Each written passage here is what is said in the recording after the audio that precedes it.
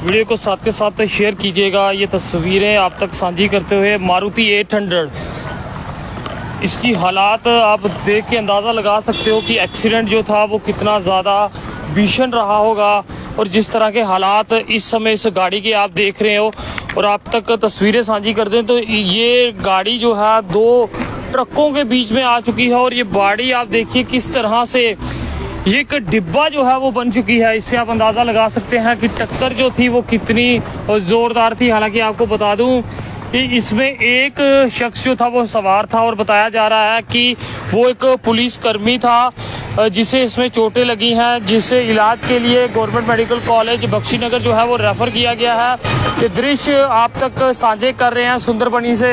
कि इस समय किस तरह से सुंदरबनी की गाड़ी जो है, वो आप तक दृश्य दिखाने का मकसद ये है कि जब भी गाड़ी चलाएँ, धीमी गति चलाएँ, क्योंकि तेज रफ्तार गाड़ियाँ क्या कुछ हाल कर सकती हैं और वो गाड़ियाँ, वो लोग जो इन गाड़ियों में होते हैं, उनके साथ किस तरह की हालात जो है, वो बन सकते हैं। तो आप खुद अंदाज़ा लगाइए, ये कहना गलत नहीं होगा कि अगर आपकी छोटी सी गलती जो है वो किसी दूसरे पे कितनी ज़्यादा भारी पड़ सकती है? ये जीता जागता उदाहरण है। आप इस गाड़ी को ध्यान से देखें कि किस एंगल से ये आपको मारुति 800 जो है वो लग रही होगी। मगर जिस तरह से इसमें एक पुलिसकर्मी जो था वो सवार था, हालाँकि उन्हें अब गवर्नमेंट मेडिकल कॉलेज जम्मू जो है वो यहाँ से रेफर किया गया है और हालात आप गाड़ी के देख सकते हैं।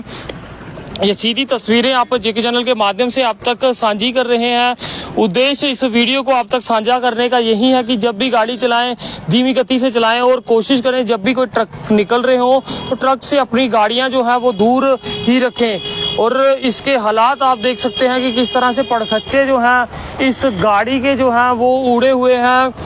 तो जब भी गाड़ी चलाएँ, ध्यानपूर्वक चलाएँ, क्योंकि घर में आपका कोई इंतज़ार जो है वो कर रहा होगा।